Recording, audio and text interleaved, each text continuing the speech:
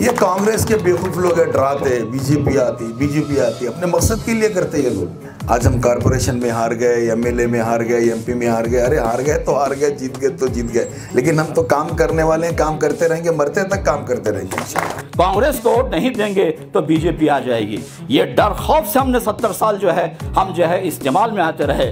लेकिन आज वो शख्सियत हमारे सामने, वो इस हिसाब की हम देख रहे हैं कि वो जो है जीत हार एक अलग चीज़ है। हमेशा खमर इस्लाम के सामने भी लोग ठहरते थे, अब मैडम के सामने भी लोग ठहरे। लेकिन बराबर हमारे कौम मुतहद होकर मैडम को जीते। खमर साहब को छः सात बार जीते। लेकिन मुतहद हुए, लेकिन सामने और लोग भी ठहरे थे ना। अभी भी इस बार भी सब मुतहद हो जाओ, मेरे को मौका दो, इंशाल्लाह मैं आगे बढ़ूँगा और काम करूँगा, इंशाल्लाह। और ऐसा काम करूँगा, इंशाल्लाह, आपको फिर खमरुल इस्लाम के दौर से, इंशाल्लाह, उससे अच्छा वो भी करने की कोशिश करूँगा, इंशाल्लाह। आज जो डी के शिव कुमार हिजाब का जब मामला आ रहा है, हिजाब के मामले में डी के शिव कुमार ने जो है, एक ट्वीट करा के मैसेज आ गया कि कोई कांग्रेसी जो है, हिजाब के मामले में कोई तायद ना करे, कोई फेवर ना करे। क्या मतलब इसका? अरे, हमारी अपनी कौम का वोट लेती है कांग्रेस, और जब हमारी कौम का जब कोई मसला आता है, जब कोई बात आती है तो कांग्रेस का स्टेट का प्रेसिडेंट डी के शिव कुमार ये ये मैसेज आता है कि जो है कोई कांग्रेस का कोई बंदा जो है इसके अंदर जो है हिजाब के मामले में मुसलमानों की तो तायद ना करे।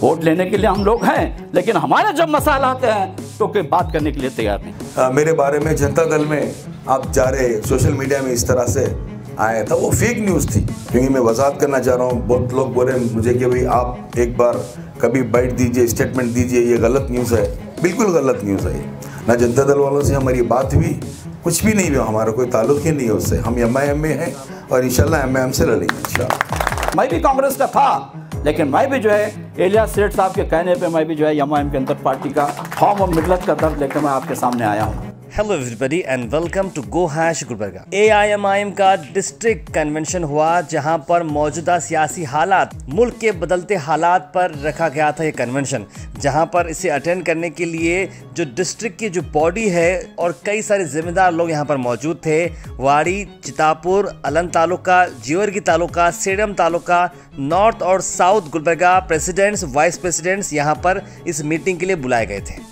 इस मीटिंग को प्रिसाइड किया जनाब इकबाल अहमद शन्नी फरोश एक्स मेयर और ये इवेंट की सरपरस्ती की इलियास सेठ, जो कि नॉर्थ एमएलए कैंडिडेट हैं। साथ साथ इस मौके पर जनरल सेक्रेटरी नवाज़ खान साहब डिस्ट्रिक्ट एग्जीक्यूटिव मेंबर्स खादर साहब, मोइनुद्दीन साहब, मुद्दीन पटेल शाह बाज़ार ब्लॉक प्रेसिडेंट खतीब अहमद, नूर अहमद और कई सारे जिम्मेदार यहाँ पर मौजूद रहे। ये मीटिंग काफ़ी इंपॉर्टेंट रही एमआईएम के लिए।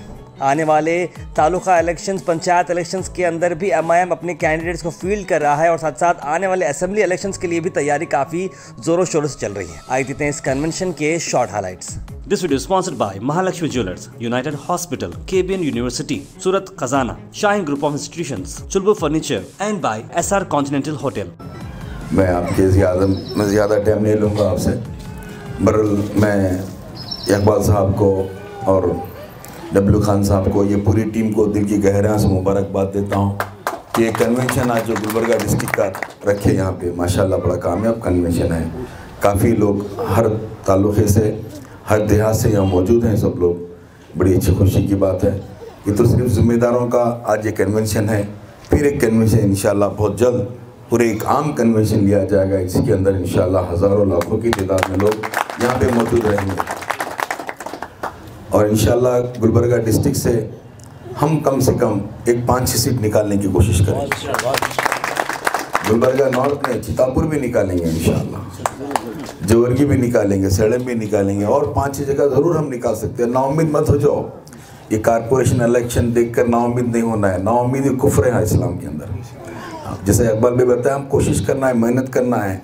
हमको एमएलए बनना है, एमपी बनना, कारपोरेटर बनना, हम वो हमारे मकसद नहीं है। हमारा मकसद क़्यादत करना है, हमारा मकसद काम करना है, खिदमत करना है, एक दूसरे की मदद करना है, ये मकसद है हमारा। ये जहन से निकालिए, आज हम कारपोरेशन में हार गए एमएलए में हार गए एमपी में हार गए, अरे हार गए तो हार गए, जीत गए तो जीत गए, लेकिन हम तो काम करने वाले हैं, काम करते रहेंगे, मरते तक काम करते रहेंगे और काम करते करते मरना है, मरते मरते करना है, काम करते करते इंशाल्लाह दुनिया से चले जाएँगे, लेकिन हार जीत की फ़िक्र नहीं करेंगे। तो ये हमारे को मकसद लेके चलना है। अब जो मौजूदा मुल्क के हालात हैं, शहर के हालात हैं स्टेट के हालात हैं, सब पूरे लोग वाकिफ़ हैं। मैं बताना कोई ऐसा ज़रूरी नहीं है, लेकिन हर आदमी अखबार पढ़ता है सोशल मीडिया में देखता है। बहुत ख़राब हालत है। बहुत बहुत ख़राब हालत है। ऐसे हालात में हम लोग को मुतहद होना ज़रूरी है। और ये खौफ निकाल दो बीजेपी आएगी बीजेपी का बाप आएगा, कुछ भी नहीं होगा। तुम लोग हिम्मत से रहो मुतहद से रहो, अल्लाह की मदद आएगी और तुम कामयाब होंगे। ये कांग्रेस के बेवकूफ़ लोग है, डराते, बीजेपी आती बीजेपी आती, अपने मकसद के लिए करते ये लोग। लेकिन हमारे बेचारे चंद नादान मुसलमान जो है, जो दुनिया में खौफ के माहौल में जीते अरे अल्लाह के ही, अल्लाह के ही, इसमें रहो। क्यों डरते आप लोग? अब मुतहद हो जाओ, बराबर तुम कामयाब हो गए। अब देखिए गुलबर्गा में हमेशा एक तारीख है। हमेशा खमर इस्लाम के सामने भी लोग ठहरते थे। अब मैडम के सामने भी लोग ठहरे। लेकिन बराबर हमारे कौम मुतहद होके मैडम को जीते। खमर साहब को छः सात बार जीते। लेकिन मुतहद हुए, लेकिन सामने और लोग भी ठहरे थे ना।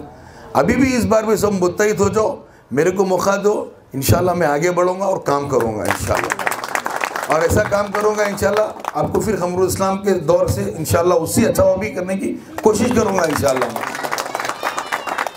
ठीक है मेरी भी ख्वाहिश है, मैं कुछ काम करूँ।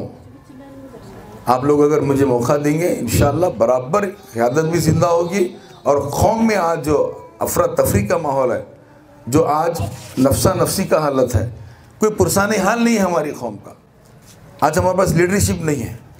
इन आप लोग मुझे मौका दीजिए, आगे बढ़ाइए, मैं काम करने के लिए तैयार हूँ, तन मन धन से करने के लिए तैयार हूँ इन और ज़्यादा दूर नहीं है, सिर्फ़ एक साल बचा हुआ है इलेक्शन, अभी से हम लोग तैयारी करेंगे इन इस बार जो है हम सब मुतहद होके बीजेपी को और कांग्रेस को हरा देंगे इन सफाया करेंगे। और एक बात जहन में रखिए कुछ लोग कुछ दिन पहले आ, मेरे बारे में जनता दल में आप जा रहे सोशल मीडिया में इस तरह से आया था वो फेक न्यूज़ थी। क्योंकि मैं वजाहत करना चाह रहा हूँ बहुत लोग बोले मुझे कि भाई आप एक बार कभी बैठ दीजिए स्टेटमेंट दीजिए ये गलत न्यूज़ है। बिल्कुल गलत न्यूज़ है ये। ना जनता दल वालों से हमारी बात हुई कुछ भी नहीं हुआ हमारा कोई ताल्लुक ही नहीं है उससे। हम एम आई एम में हैं और इंशाल्लाह एम आई एम से लड़ेंगे, इंशाल्लाह। और जो है आपका जो है वाड़ी के अंदर, कुन्नूर के अंदर यानी वाड़ी के साथ साथ वाड़ी का एक हिस्सा है कुन्नूर इंगलगी वहाँ पर भी हमारी जो है बहुत बड़ी टीम तैयार हुई है।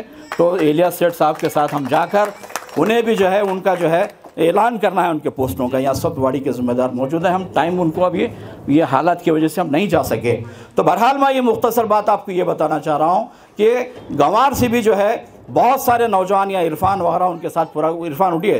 तो ये बहुत बड़ा ग्रुप जो है, वहाँ का जो है गंवार का भी सेट बहुत बड़ा ग्रुप जो है वहाँ का भी जो है तैयार हुआ है। और गवर्नमेंट काल से गवर्नमेंट काल से भी हमारी अपनी टीम है। वाड़ी के अंदर भी जो है बहुत बड़ी हमारी अपनी टीम वक्त की कमी की वजह से मैं मुख्तसर कर रहा कि वाड़ी में के अंदर भी जो है हमारा बहुत बड़ा ग्रुप, यानी बताना ये चाह रहा हूँ कि सारे डिस्ट्रिक्ट में, यानी नॉर्थ और साउथ तो हमारे साथ है, नॉर्थ में तो जो इलियास सेठ साहब की हमारी सरपरस्ती और सारे डिस्ट्रिक्ट में सरपरस्ती इलियास सेठ साहब की है। क्योंकि कारपोरेशन में, जैसा कि नवाज़ खान साहब ने बताया कि कारपोरेशन में एम आई एम की यहाँ पर जो लाना और एम का यहाँ पर जो है इंट्रोडक्शन कराना और बिना किसी वक्त के, कम वक्त के अंदर जो है कॉरपोरेशन में जो उन्होंने इलेक्शन जो लड़ा यहाँ पर, ये काबिल मुबारकबाद था जो है। आज हम, हमारे अपने लोगों में एम का जो है शूर यहाँ पर जो हम जो काम करने की जो हमें ताकत है, मैं भी कांग्रेस का था, लेकिन मैं भी जो है एलिया सेठ साहब के कहने पे मैं भी जो है एम के अंदर पार्टी का फॉर्म और मिलत का दर्द लेकर मैं आपके सामने आया हूँ। अगर मुसलमानों की अगर कोई क़्यादत करने वाली अगर कोई जमात है, मुसलमानों का अगर जो है मसला को उठाने वाली अगर कोई शख्सियत है, वो बैरिस्टर असुद्दीन वैसी साहब हैं। आज हमें ये बात मैं और एक बार दोहराना चाहता हूँ कि आप जो है सरमत साहब ने जो कहा कि मुल्क के अंदर जो हालात हैं, उत्तर प्रदेश के अंदर जो डर खौफ था, मुसलमानों की जो वहाँ पर जो है खौफजदा जो हालत थी ख़दम ख़दम पर जो लोग हमारे वहाँ पर मुसलमान परेशान थे। लेकिन असद साहब की वहाँ के जो एंट्री हुई, वहाँ पर जाके पाँच साल पहले उन्होंने जो एमआईएम का वहाँ पर परचम लहराया था। लेकिन वहाँ पर उन्हें हिम्मत नहीं आ रही। कि उन्होंने ये नहीं देखा कि उत्तर प्रदेश में पाँच साल पहले हमने एम आई एम के उम्मीदवारों को हमने ठहरा किया था। रिज़ल्ट नहीं आया तो उन्होंने कभी भी जो है यहाँ से मायूसी नहीं ली। इसलिए कि उनका मकसद ये है, कामयाबी जो है हमारा मकसद नहीं है। हमारे जीतना हमारा मकसद नहीं है। हमको, हमारे अपनी कौम से डर व खौफ को निकालने के लिए एक ऐसा, एक ऐसी शख्सियत हमारे दरमियान जो अल्लाह ताला ने हमको भेजा है, जो आज मुसलमान जो है उत्तर प्रदेश के सारे आज जो देख रहे हैं आप सोशल मीडिया के अंदर किस तरह से जो है हमारी कौम जो है आज खुल के जो है आप सामने आकर जो काम कर रही है। तो यही मैसेज आज पाँच साल के बाद हम देख रहे हैं। उसके बाद जब उत्तर प्रदेश के अंदर जो फिर दोबारा जब इलेक्शन आया, अब जो चल रहा है दो हज़ार बाईस का, आज की सूरत हाल आप देख रहे हैं। हर गली में हर बच्चा डर खौफ का नाम खत्म हो गया है। ना डर खौफ का नाम खत्म हो, उसका मतलब ये नहीं कि कानून के दायरे में रहते हुए, संविधान को हम क्या रहते हुए संविधान के दायरे में तो वो जो है, हमारी कौम को जो है, कैसे नुमाइंदगी अरे, ये कह रहे हैं उन्होंने कि मुझे यहाँ का उत्तर प्रदेश का चीफ मिनिस्टर बनना नहीं है, मुझे यहाँ की लीडरशिप करना नहीं है, मैं अपनी कौम को तैयार करना चाहता हूँ, उत्तर प्रदेश के अंदर लीडर पैदा करना चाहता हूँ, हर घर में जो है लीडरशिप जो है, कौम की आना चाहिए। एहतजाज करने से आप जो एहतजाज दर्ज करने से, स्ट्राइक करने से आपके मसाइल हल नहीं होते। आप सबसे पहले आप अपने वोट का इस्तेमाल अपनी पार्टी के लिए कीजिए। अपने ऐवानों के अंदर, पार्लियामेंट के अंदर, असम्बली के अंदर जो है, आप अपनी नुमाइंदगी को भेजने की कोशिश कीजिए। चाहे जेड पी इलेक्शन हो, तालुका पंचायत इलेक्शन हो, जब तक तुम जो है लीडरशिप अपने हाथ में नहीं लेंगे। चालीस, सत्तर साल से हम अपने वोटों का इस्तेमाल हमने कांग्रेस को किया। और जो है, हमने अपने वोटों का इस्तेमाल बीएसपी को किया, हमने वोटों का इस्तेमाल, और कई एक ऐसे मुख्तलिफ़ पार्टियों को खाली हम यही करके हम वोट, वोटों का बंटवारा किए कि इसको अगर वोट नहीं डालेंगे, कांग्रेस को वोट नहीं देंगे तो बीजेपी आ जाएगी। ये डर खौफ से हमने सत्तर साल जो है, हम जो है इस्तेमाल में आते रहे। लेकिन आज वो शख्सियत हमारे सामने, वो इस हिसाब की हम देख रहे हैं कि वो जो है, जीत हार एक अलग चीज़ है। तो बहरहाल, मैं ज़्यादा वक्त ना लेते हुए फिर आपसे एक बार कहना चाहता हूँ कि गुलबर्गा के अंदर भी हमको अच्छा माहौल बनाना है। आने वाले दिनों में इन ताला इलिया सेठ साहब को जो है हम कामयाब करने की हम पूरी कोशिश करेंगे ताकि असम्बली में ऐसी शख्सियत का होना बहुत ज़रूरी है। ऐसी शख्सियत का। वरना इनको सियासत में आने की ज़रूरत नहीं है। अल्लाह ताला ने इतना नवाजा में जो बोलने की ज़रूरत नहीं है। फिर भी हर रात दिन जो अपनी कौम और मिलत के लिए वो जो हमारे दरमियान जो है कुछ ना कुछ आगे करने की वो कोशिश करते हैं। तो हमारा सबका काम है कि ऐसी शख्सियत को जो है हम आगे लाना है। ये आज का प्रोग्राम रखने का मकसद यही है कि गुलबर्गा डिस्ट्रिक्ट और तालुक़े में जो जो भी लोग एम से जुड़े हुए हैं, उनका सीट से तारुफ हो और सदर साहब के गुलबर्गा डिस्ट्रिक्ट प्रेसिडेंट बनने के बाद एक जगह जमा होना एक मकसद था। उसी के तहत ये छोटा सा प्रोग्राम ऑर्गेनाइज किया गया है। और ये प्रोग्राम रखने का मकसद यही है कि एमआईएम को हम लोग गुलबर्गा में लाए हैं। इसका मकसद क्या है? इलियास शेख, इसके जो है ना, मैं समझता हूँ मेरी अपनी जगह गुलबर्गा में एम को उभारने में और गुलबर्गा में एम की जो है ना कार्यकर्दगी बताने में सब में अहम रोल अदा किया है। मैं अपनी जगह ये समझता हूँ। एक कौम और मिलत का दर्द रखने वाला ही ये काम करता है। नहीं तो उसके लिए बहुत से हमारे देश के अंदर पार्टियाँ हैं, खासकर एमआईएम का चुनना एक बहुत बड़ी बात है। और ऐसी शख्सियत जो गुलबर्गा नहीं पूरे Karnataka state all India level पे इलियास एक अपने नाम से जो है ना मशहूर है। और वो शख्स जब एमआईएम का झंडा थामता है तो हमने भी ये समझा कि जो शख्स सोच बूझ रखने वाला ये झंडा थामा है तो क्यों ना हम इलाज सेठ का हाथ थामे? यही मकसद से जो है ना हम इलाज सेठ के साथ जुड़े हैं। और हमको इलाज सेठ के आदेश पे ही हमने पूरे डिस्ट्रिक्ट का दौरा किया। हमने सेड़म खासकर जो है ना वाड़ी, चितापुर, जवरगी जवरगी के तकरीबन विलेजेस और चितापुर के तकरीबन विलेजेस आप ही के आदेश पे जो है ना हमने आया था। इंशाल्लाह मतलब डिस्ट्रिक्ट का पूरा फोकस नार्थ पे रहेगा।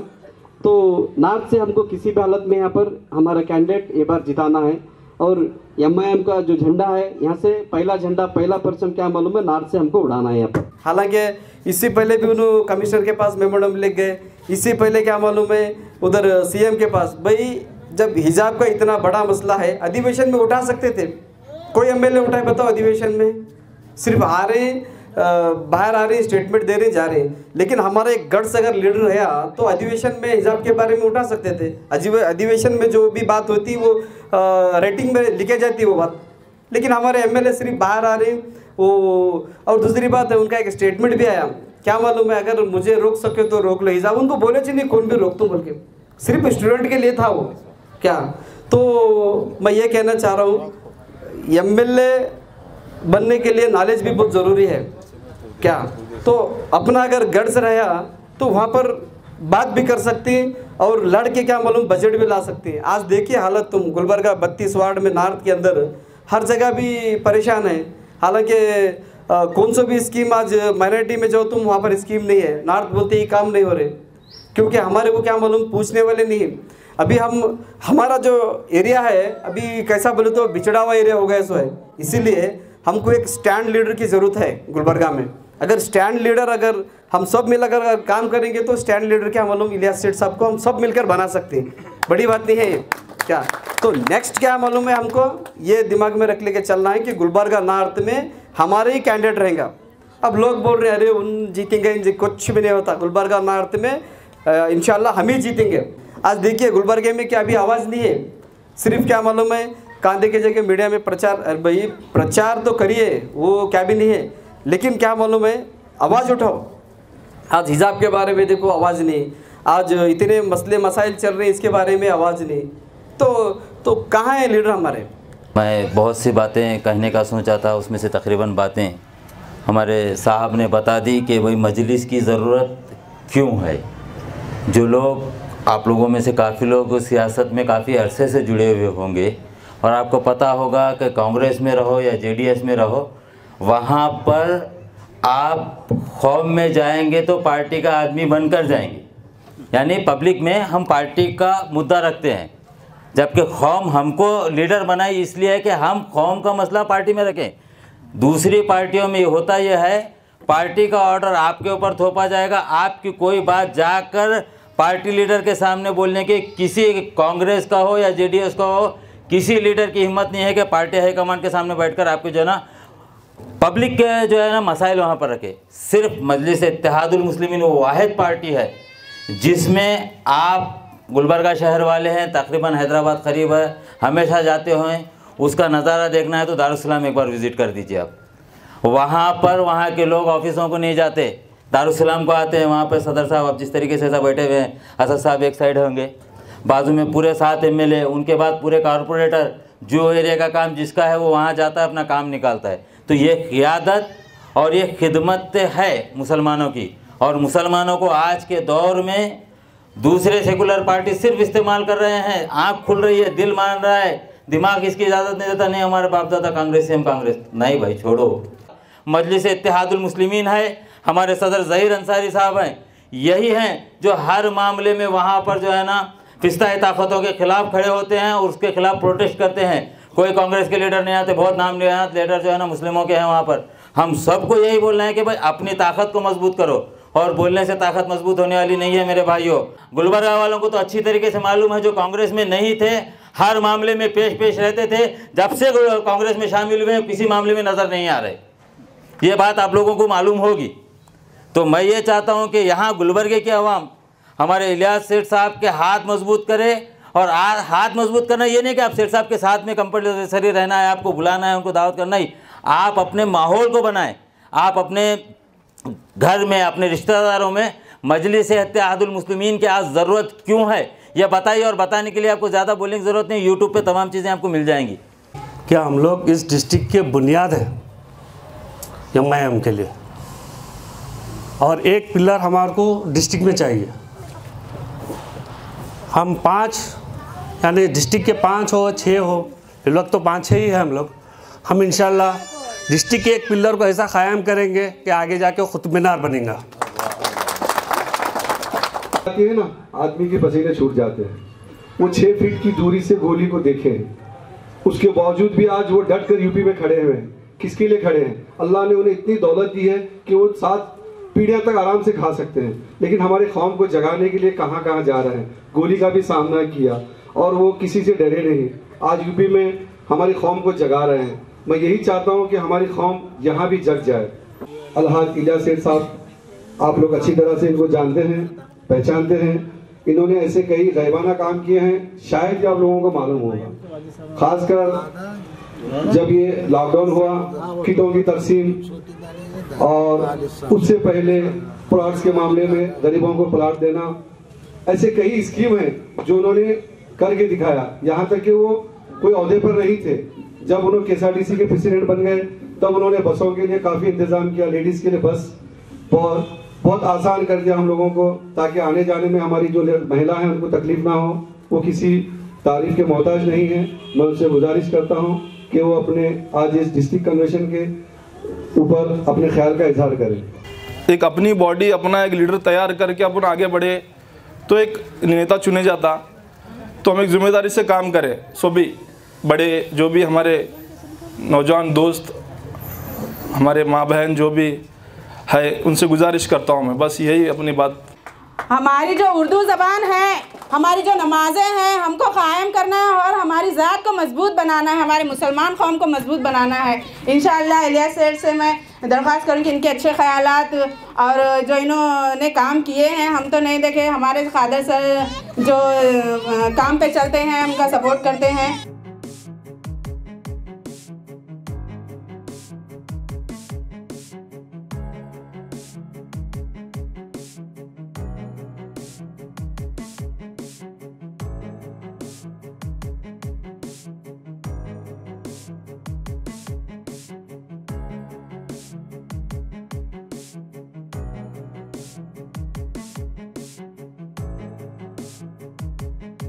This video is sponsored by Mahalakshmi Jewelers, United Hospital, KBN University, Surat Khazana, Shine Group of Institutions, Chulbur Furniture, and by SR Continental Hotel.